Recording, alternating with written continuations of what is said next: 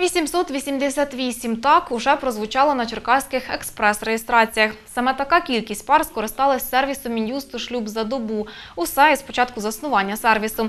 Про це повідомляє управління юстиції в Черкаській області. В Україні пілотний проект Міністерства юстиції стартував у 2016 році.